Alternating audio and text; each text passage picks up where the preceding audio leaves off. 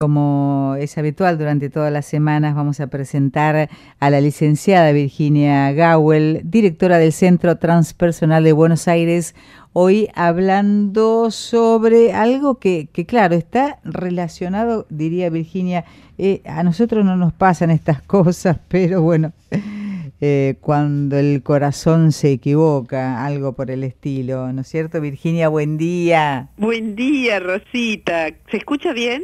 Perfecto, perfecto. Me alegro mucho. Te doy un poquito más de volumen desde acá. Eh, bueno, aquí estamos. Eh, Sabés que quiero contarles a nuestros escuchantes, a quien les dejo también un saludo entrando a cada casa, a cada auto, a cada, a cada corazón. Eh, yo tengo en mi casa algunos de estos cartelitos que se, se, acostumbran en nuestro país, esos cartelitos como envejecidos, vintage, con frases y el cartel es, eh, está hecho como oxidado a propósito. Y dice en inglés, sigue a tu corazón, él conoce el camino. Eh, está, y yo le pondría abajo, sometimes, algunas veces, porque el corazón se equivoca.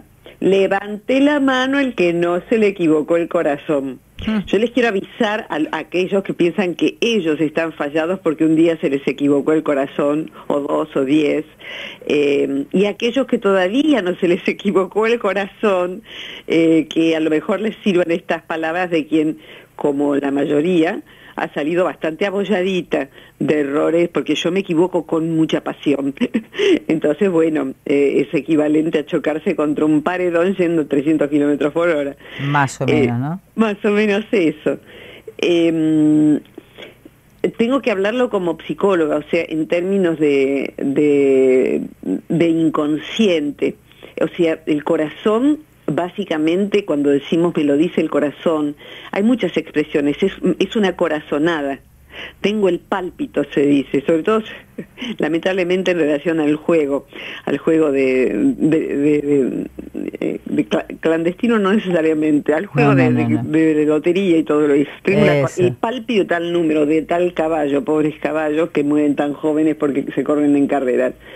Tengo el pálpito del corazón, la corazonada, eh, y ¿sabés qué fue pasando, Rosita? Fue pasando en nuestra historia de la psicología, que cuando la, psicología empieza, empieza con, ya sabemos, el señor Freud, básicamente. Y Freud era médico, era neurólogo, un neurólogo de su época. Entonces eh, se empezó a hablar en términos de eh, eh, muy intelectuales, muy mentales, y todavía hoy hay veces en que yo no hago más práctica clínica, pero llaman pacientes de psicólogos que están cansados de ir con interpretaciones, de que el medio sea básicamente eh, un medio mental, intelectual, de razonar, justamente análisis. Puede ser muy valioso y otras veces no alcanza eh, porque eso correspondería al análisis, viste que el cerebro está partido como una nuez, ¿no? Tenemos sí, el hemisferio izquierdo, el derecho. Nuestros temas emocionales están codificados y tienen vínculo con la corteza cerebral del lado derecho del cerebro. Eh, y el pensar y solamente interpretar y hablar de ello, que es un paso de todos modos, está en el lado izquierdo. Entonces tenemos que entrar por el lado izquierdo, tomar de la mano al paciente e ir juntos a buscar la historia del lado derecho. En el izquierdo es como leer el menú del restaurante, en el derecho es comer la comida, en el izquierdo está el mapa del tesoro, en el derecho está el tesoro. Así que ahí hay que agacharse y tomar las monedas, no se trata de hacer un mapita de dónde quedan. Esto fue llevando en nuestra cultura porque es notable cómo la psicología incide en una cultura y Argentina y sobre todo Buenos Aires es una cultura muy psicológica en donde, y eso me alegra, donde las personas, todo el mundo hace terapia, no siente vergüenza, al contrario. Debo contarle a los chicos, que están escuchando a los muchachos, que cuando una mujer habla de un varón que conoció, dice, es divino, trabaja, genera sus recursos, es buen hijo, hace terapia. O sea, en el currículum hacer terapia es una buena señal. Es señal de que alguien se preocupa por su vida emocional. Entonces, eh, de una psicología muy racional, muy mental, se fue pasando históricamente a buscar qué siento yo. Ok, esto me lo dice mi psicólogo, esta es una interpretación, ¿y yo qué siento? Y ahí aparecieron otras escuelas psicológicas que empezaron a investigar qué pasaba con la sensibilidad, con el cuerpo, y cuando uno siente, a mí yo lo veo y se me hace un nudo en el estómago, o sea, cierra la garganta, o sea, e, el corazón empezó a expresarse a través de una palabra que en nuestro idioma significa lo mismo.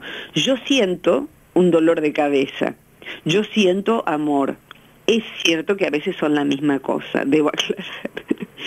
Pero en nuestro, en nuestro idioma se usa el mismo verbo, ¿verdad? Eh, y, y, lo cierto es que eh, eso que siento en el cuerpo y eso que siento en las emociones eh, no es necesariamente verdad porque lo siento.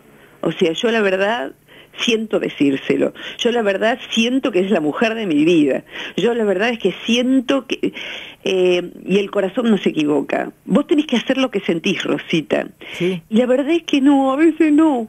Rosita, anotada, a veces, a, veces no. a veces no. Eh, y la biografía de cualquiera de nosotros está plagada, si miramos con honestidad, está plagada de veces en que hemos seguido lo que el corazón mandaba y ha sido un error del cual hemos sacado grandes aprendizajes, pero que esperamos no volver a cometer. Entonces el corazón puede ser francamente tonto y eso es normal, porque somos nada más que humanitos, Ro. ¿Me querés ayudar con alguna pregunta? Y en esto de ser humanitos, eh, eh, es como la frase que dice que el hombre es el único que tropieza dos veces con la misma piedra. Y entonces, cuando nos pasa esto de volver a tropezar, ¿qué hacemos? ¿Sentimos fracaso? ¿Tratamos de huir de ese sentimiento? Eh, ¿Tratamos de enfrentarlo? Es una gran pregunta, Ro. Mira, en lo personal, lo que yo veo que más resultado da, o sea, para no hablar de escuelas psicológicas, sino de la vida de las personas que acompañé, mis alumnos que hoy en día se forman para acompañar pacientes, mi trabajo como docente, mi vida personal, mis piedras. Y creo que la piedra ahí es para algo, y el algo siempre es aprender siempre es aprender. Y aprender, o sea, tratar de investigar esa realidad que me produce dolor, es poner un signo de pregunta. O sea, el signo de pregunta nos salva de nuestra propia estupidez, yo digo siempre, ¿no? No es, una mala palabra. Uno tiene zonas que son ciegas. Entonces, la piedra con la que nos hemos machucado el corazón, el gordo del pie, está ahí. Lo, lo principal es que evaluemos la realidad. Y la realidad es, ahí hay una piedra. ¿Qué tengo que hacer yo con la piedra? ¿La puedo sacar? ¿La puedo usar para construir? Yo levanto piedras cada tanto y las traigo a casa porque he hecho, alrededor de los árboles he hecho canteros, por ejemplo. La puedo usar. La puedo Entonces, uno puede tomar ese error y hacer algo bueno con eso. Pero lo que más importa para que un ser humano lleve una vida que, que sea interesante, o sea, hacer algo bueno con la vida que a uno le tocó, no importa las piedras, las piedras son parte del material con el que vamos a construir la vida. Sin errores no hay vida. Eh, lo que tengo que desarrollar es el discernimiento. Es tan importante el discernimiento, Rosita, que en las psicologías de Oriente, en el yoga en particular, se le llama la joya, la joya del discernimiento. Es como esa cosa tan preciada, un rubí, un diamante.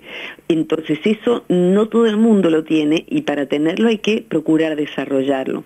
Y para desarrollarlo, el punto es, discernir es ver las cosas tal como son. Cuando nos vamos, por ejemplo, de un vínculo espantoso, que eso creo que la, mayoría de las, personas lo hemos tenido en el área de la pareja, a veces en el área de la familia natal de uno, la familia de sangre, eh, en el área de la amistad, cuando nos salimos de algo que a todas luces sentíamos que teníamos que estar allí, porque sentíamos que esa era la persona correcta, porque sabes que Rosita iba a cambiar, no solo iba a cambiar, yo le iba a hacer cambiar, eh, porque yo sentía eso, que era posible, entonces yo me manejo mis sentimientos, entonces evalúo cualquier cosa. Cuando yo llamé a un arquitecto para armar un aula en mi casa, la verdad es que yo no espero de él que diga, mira, yo siento que acá habría que hacer un techo de dos metros y medio, y siento que la puerta debería estar acá, y siento que... no, yo no quiero que sientas, yo quiero, necesito que hagas cálculos matemáticos para que el techo no se venga abajo, necesito un arquitecto que saque cuentas. Tenemos 2,80 metros de ancho, ¿Cuán alto tiene que ser la pared? ¿Cuánto de largo? ¿Dónde tendría que ir el baño? ¿Dónde podríamos ir la puerta? Son números. O sea, necesito un arquitecto que tenga inspiración estética y un alto criterio de realidad porque va a diseñar algo que no va a caber en esos 2,80 metros magros. Y bueno, el arquitecto hizo un buen trabajo. No es diferente con el amor, no es diferente con la amistad, no es diferente con una, un emprendimiento que uno quiere hacer. Yo siento que este es el lugar, yo siento que esta es mi casa, vos sentirás que esta es tu próxima casa, pero vale el doble del dinero que tenés, te vas a endeudar de por vida. O sea, podrás sentir que es la casa de tus sueños, pero por ahí lo mejor es que aspires a algo menor en vez de endeudarte para toda la vida. Es una hermosa casa, sí, tu corazón se alegra de verla, pero vale el doble de lo que podés invertir. Y lo mismo sucede con una persona. Hay veces en que sentimos que esa persona, eh, con lo que es, ya seremos felices juntos, somos altamente compatibles. Y con lo que va a ser, ni te cuento, porque esa persona eh, si lima un poco su carácter, tiene tanta sensibilidad con los animales. Ya sé que duerme mucho, pero de los sueños que sacas, hace música, por ejemplo. Claro, las parejas a veces se separan por las mismas razones que por las que se juntan. O sea, el corazón dice, te hace bien, él es tan tranquilo. Y en la separación es, no lo aguanto, es un quedado. O sea, son las 10 de la mañana, yo ya me ocupé de los chicos, ya fui, ya vine, y él está un ratito más, Gordi, un ratito más, porque no tiene que cumplir un horario. O sea, se convierte eso, que parece un don, en un mal. El discernimiento entonces es ver la realidad tal cual es hoy, no lo que podría llegar a ser, sí, hoy. Hoy tengo este dinero para construir, hoy tengo este dinero para comprar entre dos vestidos. Este me queda divino, me encanta, sé que, este va bien con mi interior, bárbaro, pero sale cinco veces más de lo que podés gastar. Entonces, el corazón eh, o, la parte sensible es un cerebro en sí, o sea, es el único músculo que trabaja las 24 horas del día y tiene una inteligencia personal. Pero esa inteligencia hay que desarrollarla. Esa inteligencia emocional necesita que la vida nuestra se convierta en una escuela y que aprendamos entonces de cada error. ¿Cómo se aprende en la escuela? Yo estoy aprendiendo idioma con una aplicación de internet, estoy, digamos, fortaleciendo el inglés. Y bueno, me marca el error me marca el error. Entonces, el corazón es una aplicación que tenemos en nuestro sistema nervioso central para poder tomar una parte de la evaluación. Entonces, tenemos que percibir lo que está sucediendo. Eh, una parte de la evaluación la va a hacer el cerebro, de poder racionalmente decir, bueno, lo que tenemos es esto. El corazón va a evaluar, me gusta, me hace feliz, me hace bien, concuerda con mi sentir, perfecto. Y después hay una parte sumamente práctica que es, ¿puedo, puedo yo a esta edad, este emprendimiento, puedo en la situación que tengo? O sea, si el razonamiento no toma la mano a lo que sentimos, uno puede gestionar proyectos que se van a ir al demonio, vínculos que no son saludables para nosotros. ¿Por qué? Porque históricamente, con esto redondeo Rosita, al venir de una psicología tan intelectual, nos hemos quedado pensando si lo sentís a celo. Y como dice un banco, eh, ya no está por allí el eslogan, pero decía, si lo querés, compralo abajo la letra chica dice con nuestra tarjeta de crédito con un 30% de interés, o sea que vas a pagar casi una mitad más de lo que vale la cosa. Eh, pero te insta que si lo sentís, tenelo, sentís que es tuyo, sentís que lo querés, date el gusto, date el gusto, total, paga Papá Noel. Entonces, eh, se ha comercializado tanto, si lo sentís a celo, y la psicología se ha basado luego tanto en, si tu corazón te lo dice, ahí tenés que ir. No, corazón, nos sentamos y evaluamos. Nos sentamos y evaluamos. Un psicólogo sensato tiene que ayudar al paciente a que no vaya detrás de lo que su corazón quiere hacer. Eh, finalizo con esto en esta parte, Rosita. Cuando una mamá, vos sos mamá, ya sos abuela de un nieto divino, cuando tu, hija, tu nieto, no quería sacarse el chupete, por ejemplo, quería seguir sacando el chupete, chupándose el dedo, la mamadera. Hay un momento en que uno pasa eh, que no, no quiere hacer eso y se siente horrible, horrible porque deja llorar a la criatura sin su chupete, eh, sin su mamadera. Eh, pero tiene que pasar por allí, porque si no, bueno, no va a crecer. Entonces, uno, hay veces en que tiene que como dijo una vez una amiga mía, en este momento vos tenés que sacar tu corazón, envolverlo en papel aluminio, era una metáfora, ¿no? Con, la que, con lo que se cocinan en Argentina muchos productos, eh, se, ponen en papel aluminio para que se envuelvan, se conserven mejor o se envuelvan, eh, se cocinen en su jugo, y lo pones en el freezer, porque lo que vos ahora tenés que hacer no depende de lo que sentís, depende de tu pensamiento. Vos sentís que te tenés que quedar al lado de este tipo que te hace mucho daño, mucho daño y es peligroso. Entonces, por más que vos sientas que es el hombre de tu vida, que va a cambiar, que con lo que vivimos juntos y estás súper enamorada de él, no podés guiarte por lo que sentís porque estás, en, situación peligrosa.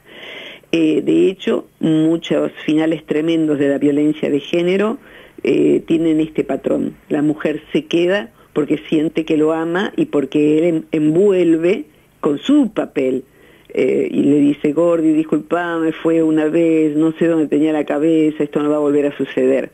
Todos sabemos cómo termina eso ya.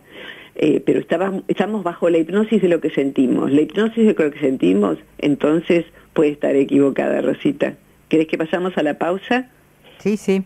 Eh, tengo una, Por favor. una preguntilla. equivocarse, ¿no? El término, como vos decís, ¿no? cuando el corazón está equivocado implica pagar de por vida y resignarse a decir me lo merezco y me lo tengo que aguantar?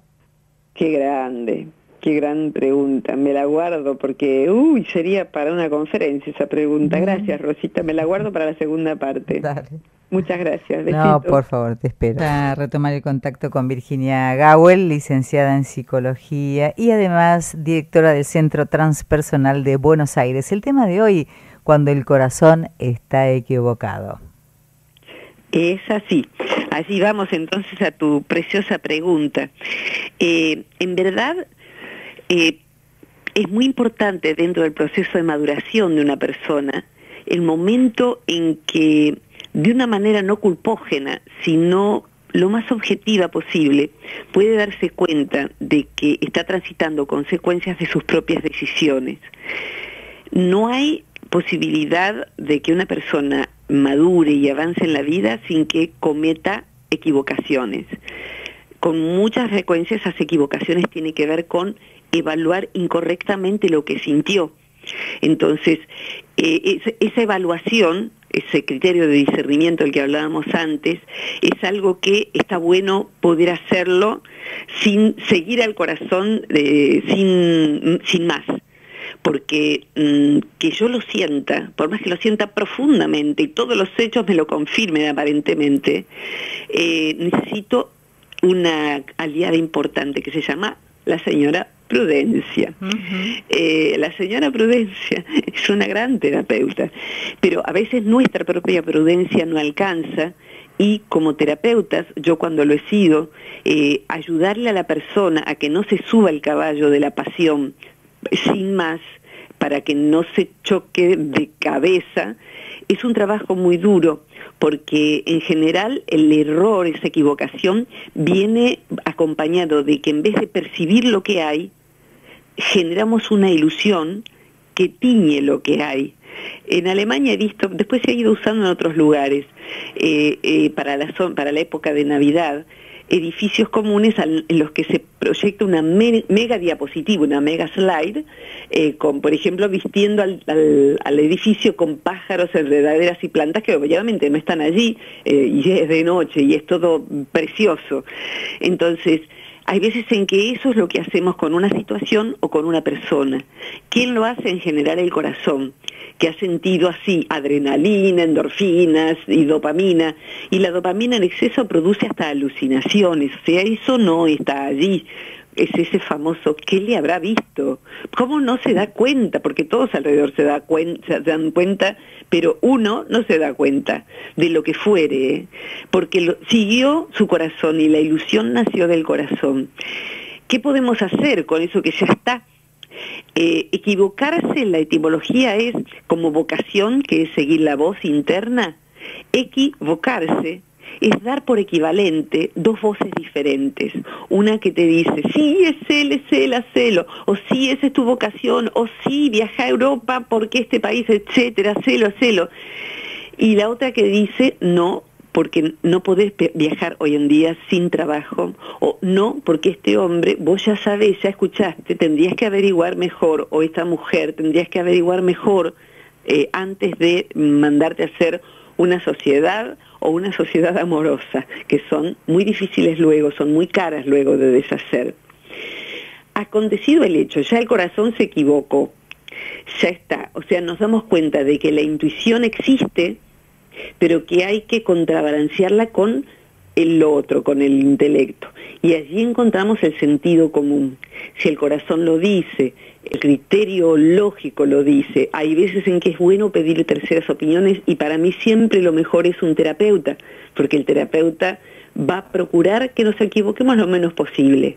Y si nos equivocamos, o sea, un buen terapeuta da su parecer da su parecer. Confío en los terapeutas que se juegan a decir lo que yo no haría eso en tu caso. Eh, en, algunas líneas de terapia no. Uno pregunta, ¿vos qué harías en mi caso? ¿Y a usted qué le parece? Responde el terapeuta, así muy aséptico como en un quirófano. No me gusta esa psicología.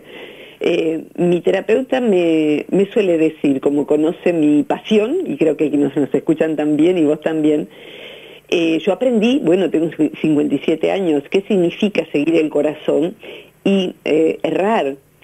¿Qué se hace con el error? En principio la madurez implica hacerse cargo de las consecuencias que trae ese error. Porque hay veces en que la equivocación significa, por ejemplo, haber tenido un hijo con una persona equivocada. Pero la persona era la equivocada, no el hijo. El hijo ya existe, ya está ahí. Bien, entonces, aunque haya sido una equivocación, aparentemente, haber tenido un hijo con esa persona y muchas veces a todas luces era un error haber elegido esa persona, ya está allí el hijo. Entonces uno afronta esas consecuencias de por vida, como decías vos. Y hay otras veces en que uno se equivocó, como dice la canción de Queen, si querés, otro muerde el polvo. Otra, otro que estaba allá arriba se cayó y como todos erró y se tiene que tragar sus palabras, tragar la tierra, de morder, el polvo y haber dicho, mi, mi, mamá tenía razón, mi terapeuta tenía razón, mis amigas tenían razón. Y yo ya lo sabía, con una parte de mí yo ya lo sabía, pero la desoí. Lo más importante es no desoír a nadie. Me sirve esta imagen, Rosita, eh, aprender del error eh, constituye una persona sabia. O sea, no hay persona sabia sin una gran, larga cadena de errores. Y saber que uno por dentro, que sería como para otra columna, la psicología transpersonal nos dice que no hay un yo, que somos como un consorcio. En nuestro país se dice consorcio, para quienes nos escuchan de otros lugares, una vecindad, como la del Chavo, ¿no? O sea, en un mismo edificio vive mucha gente y cuando hay que tomar una decisión hay una reunión de consorcio, hay una reunión de vecindad y se decide si se cambia el administrador, si se pinta el frente, todo lo que sabemos los que hemos vivido en esas preciosas reuniones de consorcio, en donde hay desacuerdos hasta, hasta que se llega a un acuerdo. Acuerdo, de hecho, significa que hay un, eh, un corazón en consonancia. Cuerdo es corazón. Una persona cuerda es alguien que tiene su corazón bien orientado. ¿eh? Cordio es corazón. Concordar es eso. Recordar es volver al corazón. Pero el corazón necesita del cerebro, no podemos decapitarlo al corazón. Necesita esa buena conexión y el cerebro ser informado por lo que siento. Porque también uno puede decir, este, este trabajo me conviene, pero yo no siento que esto sea para mí.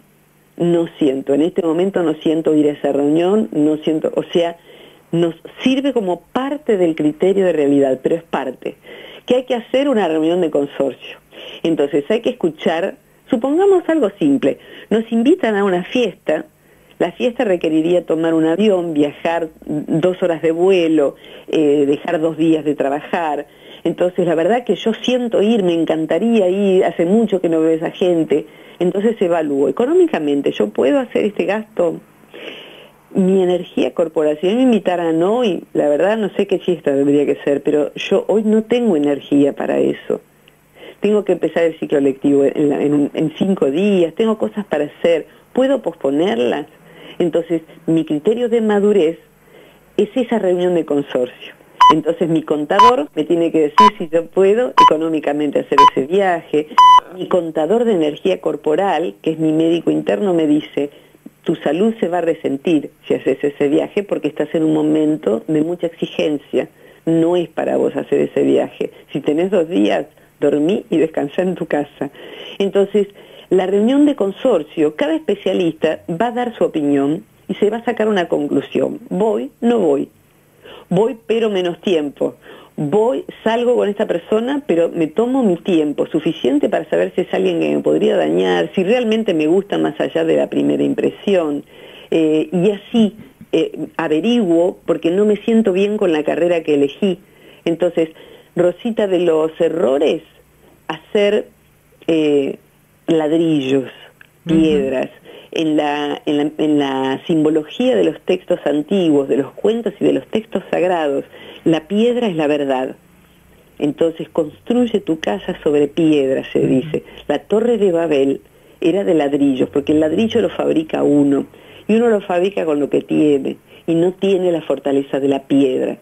Uno debe lograr que la verdad sea como una piedra así de sólida, y para eso participa un sentido en común entre corazón y cerebro y evaluación de la energía del cuerpo. Entonces, es muy valioso saber qué piensa el corazón, cuál es su criterio, qué siento ante eso todo el tiempo, Rosita. Autoobservar qué siento ante cada circunstancia, pero saber también que eso no es el único criterio de realidad.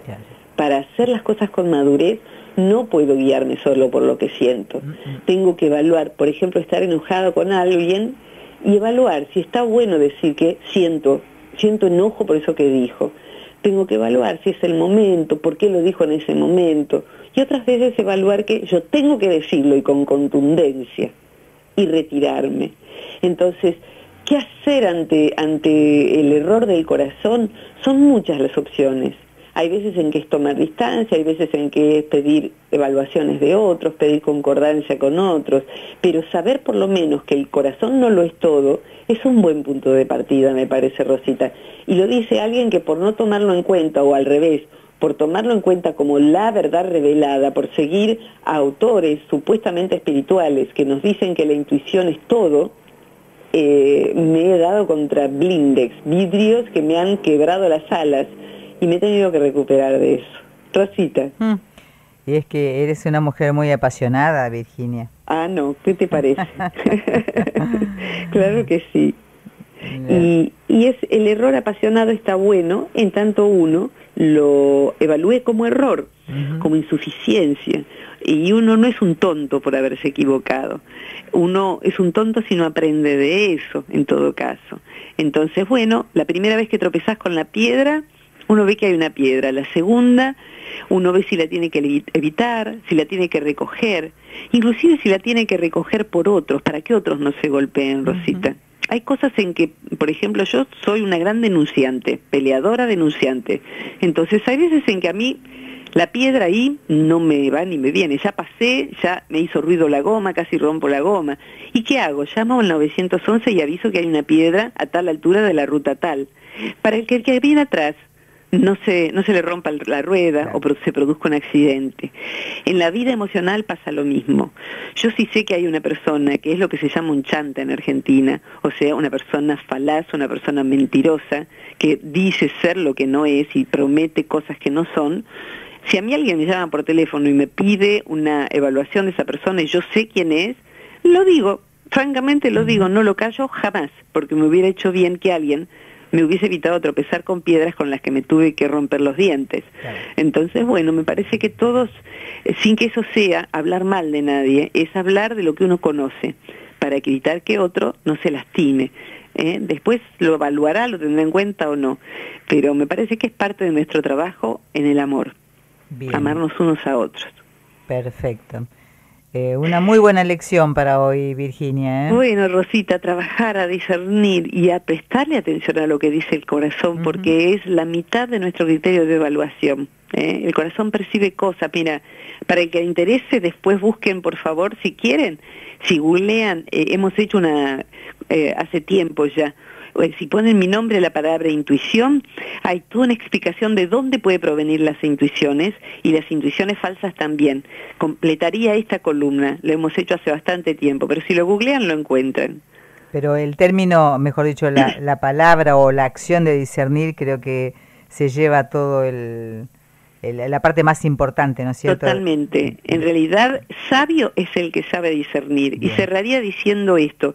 Una persona mayor que es sabia, eh, uno ve que es sabia y no importa cuánto estudio haya tenido, eh, le, parece, le pasa neurológicamente, en nuestra confusión también pasa esto.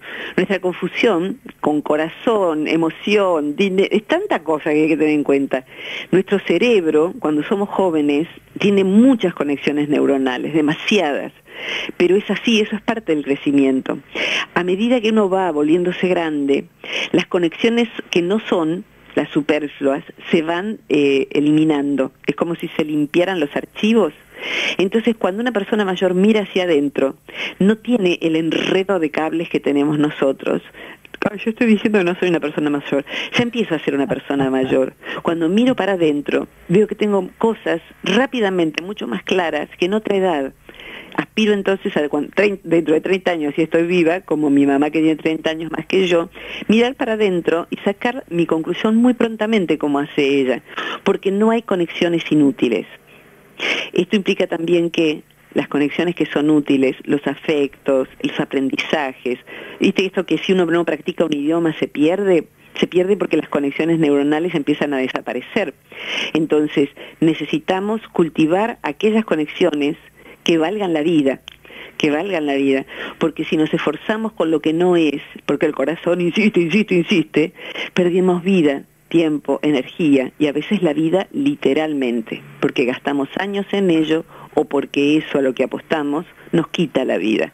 Entonces el discernimiento es vital y el corazón es nada más que uno de los distintos instrumentos para discernir la realidad, así como bien lo resaltaste.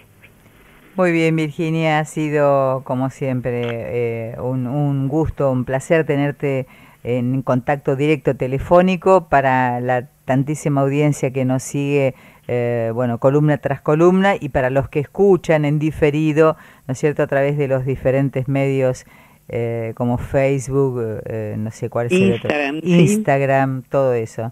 Así que bueno, súper conectadísimos. Gracias querida Rosita, siempre una alegría estar aquí, gracias a todo el equipo. Eh, y todas las columnas anteriores están en el sitio del Centro Transpersonal de Buenos Aires, donde dice material gratuito. Eh, pueden buscarlas en donde está el canal de YouTube y pueden buscarla en SoundCloud, que ahí, ahí mismo lo dice. ¿eh? Las pueden descargar en sus celulares gratuitamente también. Así que estamos en la casa de un montón de gente, Rosita. Así es. Bueno, mi corazón, te dejo un abrazo enorme para vos, para Soledad, para Andrea, para Mario Liz, que es nuestro editor, hermano de mi alma, eh, y para vos que te adoro. Así que bueno, un abrazo para nuestros escuchantes y que podamos ir decir, discerniendo todos nosotros. Discernir es como un cernidor, que lo que no sirve caiga afuera y lo que sirve pueda pasar a través del cernidor y con eso nos quedamos. Muchas gracias, Virginia. Gracias, querido. Un abrazo inmenso. Que tengas una excelente semana. Gracias, igualmente. Charlábamos así con Virginia Gawel, licenciada en psicología y además directora del Centro Transpersonal de Buenos Aires.